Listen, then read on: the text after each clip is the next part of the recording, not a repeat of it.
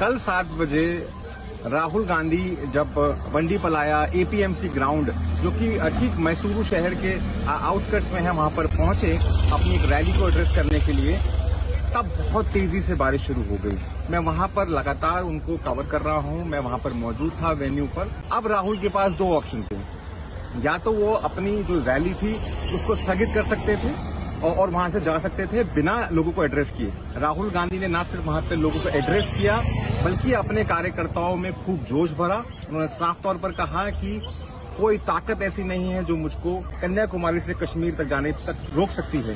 तो कुल मिलाकर राहुल गांधी ने एक ऐसा मोमेंट दिया कांग्रेस पार्टी को, जैसा हमने 1977 में जब कांग्रेस पार्टी बुरी तरीके से हारी थी, इंदिरा गांधी की बहुत बुरी तरीके से हार हुई थी, उसके बाद बेलची में वो पहुँची थी। एक हाथी पर उनकी बड़ी आइकॉनिक फ़ोटो है, जिसमें वो एक हाथी पर बैठी हुई है। उनकी नाक पर चोट भी लगी हुई है। और उसके बाद पूरे देश में फिजा बदल गई। कांग्रेस पार्टी को लेकर एक माहौल तैयार हुआ और कांग्रेस पार्टी सत्ता में वापसी करती है। ठीक उसी प्रकार से राहुल गांधी की जो तस्वीरें अब वायरल हो गई हैं ट्विटर पे सोशल मीडिया पर, तमाम व्हाट्सएप ग्रुप में वो पहुँच चुकी हैं। कल जिस तरीके से राहुल गांधी ने अपनी एक डिटर्मिनेशन दिखाई राजनीति के प्रति, भारत जोड़ो के प्रति, उसको देखकर अब पार्टी को लगता है कि अब कार्डर एनर्जाइज होगा और देश भर में पार्टी के पक्ष में माहौल बनेगा।